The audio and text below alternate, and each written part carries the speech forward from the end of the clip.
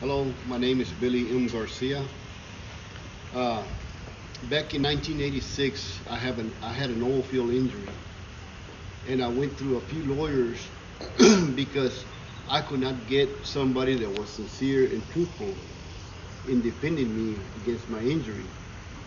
So as I was starting my journey and looking for a, a new lawyer, I ran into Sam Fadduol in Lubbock, Texas.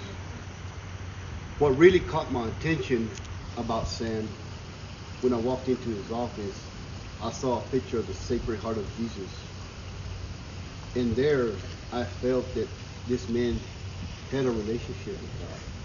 I knew that he was going to be a truthful and he was going to do the best in his knowledge to defend me in my case. And sure enough, to this day, I recommend anybody and everybody that I meet has had an injury or needs any assistance in an injury case. In Sam, I found a law firm that is very sincere, very helpful, and and also not only is he just a lawyer, he has become part of my family. They make you feel like you're one of his own family members.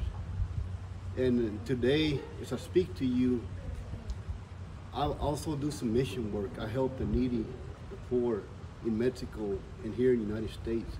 And Sam has donated money for our foundation so that we can help the needy, which is very much appreciated. And I just want to say thank you, Sam, for doing your firm. I appreciate everything you have done for us.